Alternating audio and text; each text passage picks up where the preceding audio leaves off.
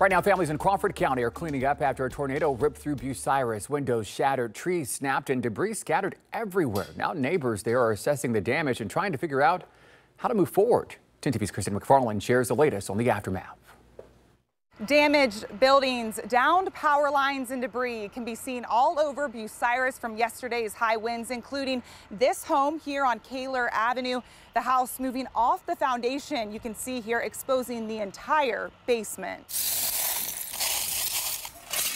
Over on West Charles Street, Tasha Nickler and her family sweep shattered glass as she recalls the moment the strong winds rolled in. My curtains are blowing everywhere, uh, rain's coming in, like everything's knocked over, glass everywhere, and I was like, I, I don't know what to do.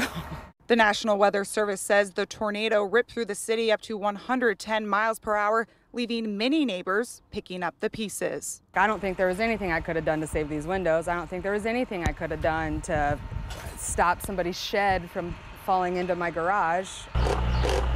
Neighbors helping neighbors, lending hands and support. The cleanup is a community effort.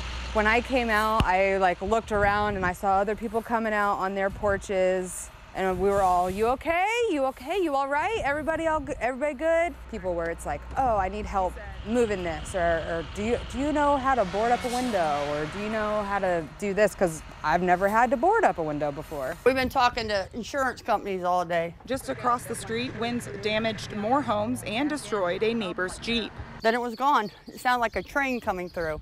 It rattled our whole house. It was wood speared through this and still some speared through that. It went right through the tire.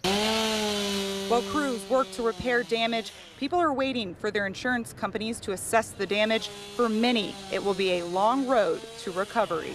Just to give you an idea how strong these winds were yesterday, remember Patty's damaged Jeep? Well, the piece of wood that went through the back windshield came from this front porch just over 100 feet away. In Bucyrus, Kristen McFarland, 10 TV News.